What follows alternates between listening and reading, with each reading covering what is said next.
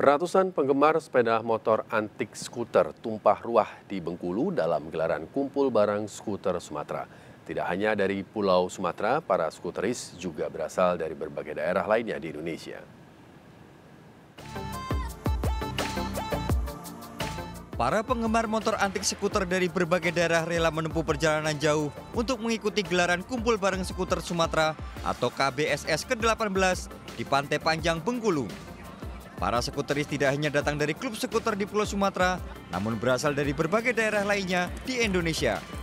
Beragam aliran motor skuter bisa ditemui di arena ini, mulai dari klasik, modern, hingga ekstrim.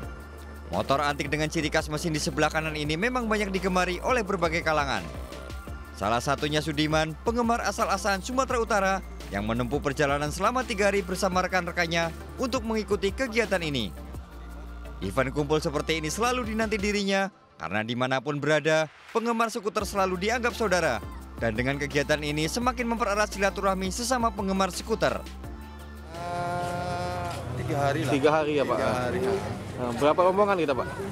Kita ada enam orang, Ya. lima unit. Lima unit ya. Iya, iya. Emang udah rutin mengikuti kegiatan KPSS ini Pak? Alhamdulillah. Ya. Insya Allah kita kalau ada undangan kita, Ya, ya, selalu kita hadir Pak. ya. Kumpul barang skuter Sumatera digelar rutin setiap tahun secara bergantian. Selain silaturahmi, berbagai kegiatan juga diadakan dalam event ini, mulai dari kontes, touring bersama, festival musik, hingga bakti sosial. Jadi KBSS ini adalah kumpul bareng skuter Sumatera Ya. dan ini memang diselenggarakan eh, setiap tahun bergantian jadi tuan rumah. Kita yang ketiga kali ini, pertama 2004, 2012 dan sekarang yang ketiga 2022 ya. Kegiatan Di lokasi ini juga digelar bazar berbagai pernak-pernik, aksesoris, suku cadang, dan berbagai lapak lainnya.